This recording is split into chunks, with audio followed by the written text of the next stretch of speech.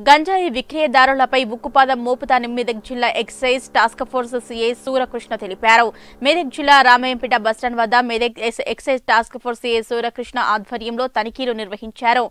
RTC బస్సులో అక్రమంగా గంజాయి తరలిస్తున్న కామారెడ్డి జిల్లా బొంపల్లి గ్రామానికి చెందిన బాలకృష్ణ అనే యువకుడిని పట్టుకున్నారు. అతడి నుంచి ఏడు వందల యాభై గ్రాముల ఎండు గంజాయిని స్వాధీనం చేసుకున్నారు.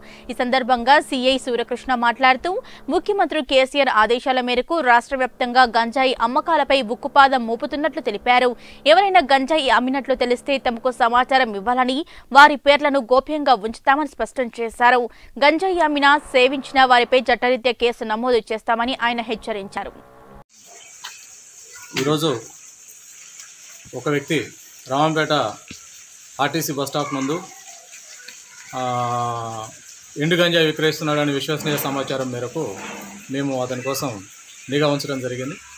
అతను మధ్యాహ్నం పూట కామారెడ్డి నుంచి ఒక పల్లె వెలుగు బస్సులో దిగి రామంపేట బస్టాండ్ నందు అనుమానాస్పదంగా తచ్చాడుతుంటే మేము అతన్ని ఆపి అతని యొక్క బ్యాగ్ను చెక్ చేయగా అతని బ్యాగ్లో సుమారు ఏడు వందల యాభై గ్రాముల ఎండుగంజాయి లభించింది. ఊరడి బాలకృష్ణ ఇతను భూంపల్లి కామారెడ్డి జిల్లా సదాశివనగర్ మండలం భూంపల్లి నివాసి.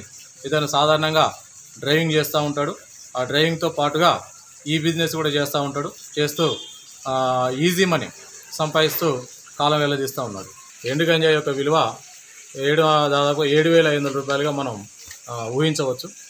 అతను ఎక్కడి నుంచి చేస్తున్నాం అని చెప్పేసి అడిగితే కామారెడ్డిలో ఒక మీనాక్షి టెంపుల్ అదే వద్ద ఒక గుర్తు తెలియని వ్యక్తి వద్ద తీసుకొని రామంపేటలో ఎవరో గుర్తు తెలియని వ్యక్తికి అప్పగించడానికి వస్తున్నట్టు అతను అంగీకరించడం జరిగింది.